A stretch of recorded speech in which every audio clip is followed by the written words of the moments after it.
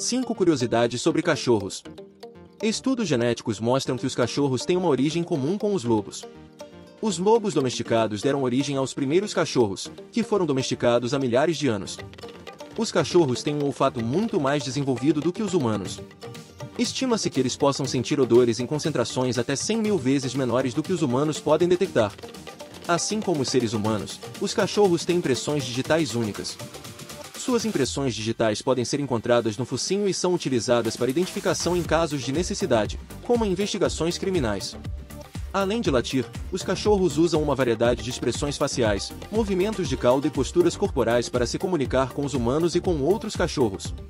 Eles também podem aprender a entender e responder a comandos verbais e gestuais. Os cachorros têm a capacidade de criar laços fortes com seus donos e proporcionar companheirismo e apoio emocional. Eles são conhecidos por serem leais, amorosos e por trazerem alegria às vidas das pessoas.